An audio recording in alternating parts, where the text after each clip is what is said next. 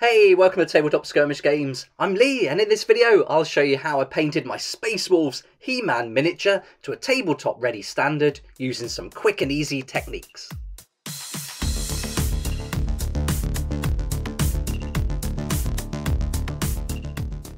Here's the model we'll be painting today, and I built him using components from the Grey Hunters box set. And I'll put a link for that in the description below, as well as a list and links of all the paints used, so you can pick those up as well.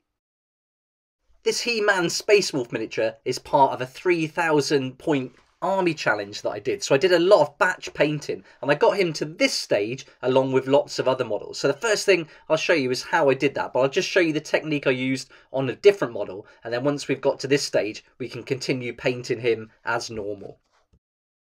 Uh, for this stage, the first thing I did was took some Agrax Earthshade, and this went over the model that's primed in the Mechanicus Standard Grey. So I just did one nice generous coat of Agrax Earthshade all over the model. I'm just using the Terminator as an example here. So I made sure to get right in there in all those crevices, giving it a real nice even coat all over, and then let it dry thoroughly.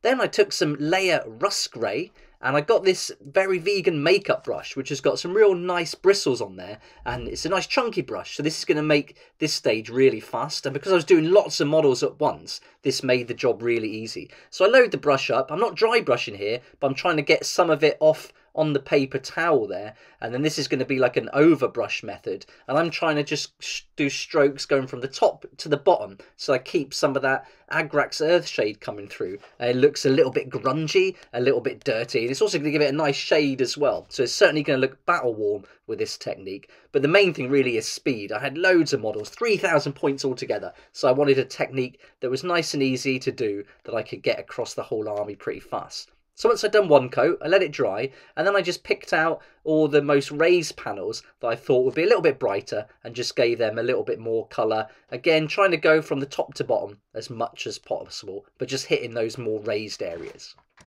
So that's the first stage, and here's the He-Man Space Wolf, and I've done exactly that. Nothing different, exactly that technique with this guy here. So now he's ready to get started with all the other colours, and the first one I use is a base paint called Averland Sunset. Now this is going to be for the left pauldron, and so I just give a nice coat of this on there. I've watered it down a little bit just to make it nice and easy to put on. And then once that dried, I put a second coat on. So with this paint, I used two coats just to get a nice solid colour across the whole shoulder pauldron.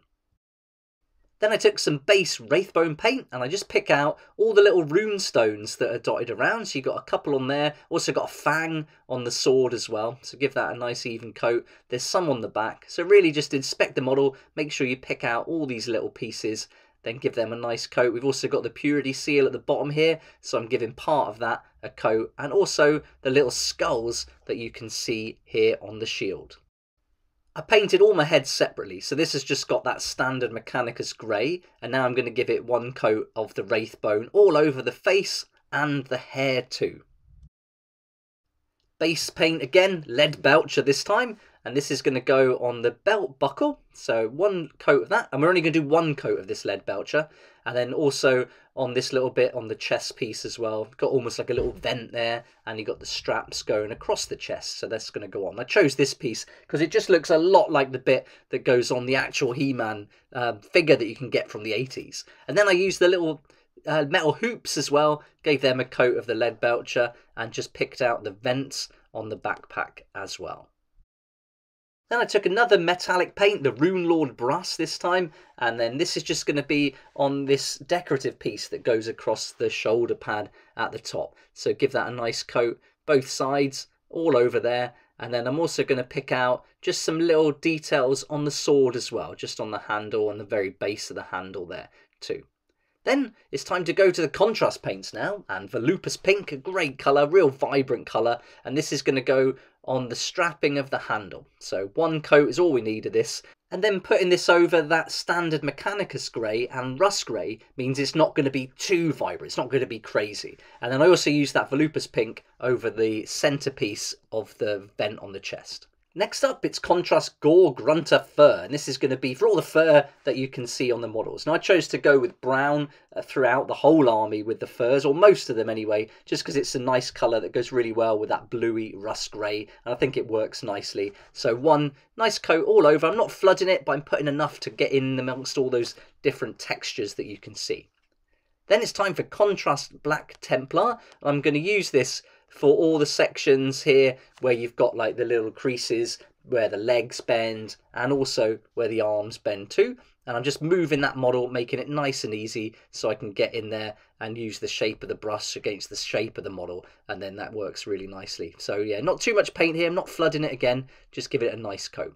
Then it's time for some Blood for the Blood God, a technical paint, which has got like a glossy look to it. I'm just going to pick out the little gems that a lot of these models have. Then it's time for Flesh Tearers Red, another contrast. And then this is going to go just on the little seal there at the bottom. So one coat, nice deep rich red. Then a base paint now, Rakarth Flesh. We're going to do some dry brushing. I've just got this nice flat brush, very smooth bristles. I'm going to put a little bit of paint on those brushes, uh, bristles, and then I'm going to work it into some kitchen towel and then get as much paint as I can off on that kitchen towel so I can give a light dry brush to the fur. This is just going to bring it to life a little bit so it's just not all that same brown colour from the Gore Grunta fur that we did earlier. So just go against the grain there.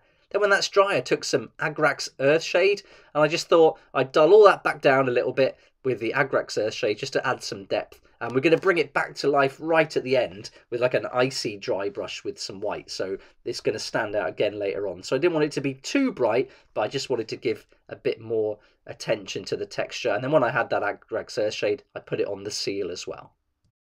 Then I took some Contrast Black Templar again, and it's time to give this guy the mark of the crow. And so I'm going to put three scratches down the shoulder pad here. So I try and bring this to a nice point at the end of each one. And then once I've done that three times, I'll spin the model around and then just put some nice neat points on the other end. And so this is the kind of mark of all the fighters in my army. And the army's all centered around wolves and crows as well, as you'll see later on. Next, I took some contrast Guilliman flesh, and this is going to be for the face. So just one nice even coat all over the face there, and then that's all there is to it. So nice and easy. This is great for getting in all that those contours and bringing out all the textures of the model. So one coat is all we need. Then it's time for the hair, and I went with a contrast Aggaros Dunes to give He-Man that nice yellowy golden colour for the hair. Again, just one coat, being careful not to go over that Guilliman flesh that we've just done. And so this is all we're going to do for the hair. One coat, nice and easy, really quick too. Next I took some layer paints and white scar and I wet this down with about equal part paint to equal part water and then I just gave this one coat over all the ice weapons, so the shield and the sword. And now this is going to be a little bit clear when it dries and give a nice base for the effect we're going to use for the ice weapons. Again, it's real quick and easy. I'm only looking for tabletop ready standard here, but this is a nice way of getting something that's pretty cool really quickly. So the same thing, one to one, one part water, one part paint, all over the sword. Then I took three parts contrast medium to one part Aethermatic Blue contrast. And then I'm going to go over all the areas we've painted with that white scar. Let the white scar completely dry first though, and then give this one coat all over the shield there, really working it into the different areas and then all over the sword too. And I'm trying to get a little bit more paint into those rune marks so you can see I was a little bit heavier there and then just push and pull that paint around until you're happy where it's settled. Then it's three parts contrast medium to one part Talassar blue next. And then once that previous mix had dried, I just go over and I dot around little bits of this paint, hardly any on my brush here, and that's just going to give a nice mix. So you got a little bit of a darker blue coming through, and then that gives a real quick and easy ice effect. And then I go over the same with the sword, working it into the areas that I want it to be a little bit darker, just being completely random with it, but focusing on the runes a little bit, just to make them a little bit bolder. Then when that dryer took some white 0.951 Vallejo and this dry brush. I thought I'd try this one out from Games Workshop. Same thing, work those bristles into the kitchen towel until most of the paint's come off. And now I'm going over the whole model because this is going to be the frosty effect that's really going to make it into a space wolf. So I'm going all over it, trying to pick out all those raised areas and edges and then going over the fur. Got to be careful with the fur because there's a lot of texture there, so it can take quite a lot of the white, and I didn't want it to be too bright. So just being careful, picking out those areas that I think would be extra frosty, working into those claws and then the rounded areas, and then really working on the shield here and the edges of it and any raised areas too. So this really does bring it to life and creates this theme right across the army, and it's very quick and easy to do as well. It's easy to go over the top, so once you get to a certain stage, just stand back, take a look at it. You could always go back and do a bit more, so don't try and do it all in one go. And there we go, there's He-Man the Space Wolf all finished, and I added a little axe as well, just to give him the full complement of weapons. I was really happy with how he turned out. I think using these quick, easy techniques, you can get a nice tabletop ready army ready in no time. And using these techniques really helped me to get those 3,000 points done pretty fast. And I did the vehicles in a similar way as well as the models. So this is the kind of theme that I've gone with throughout the whole army.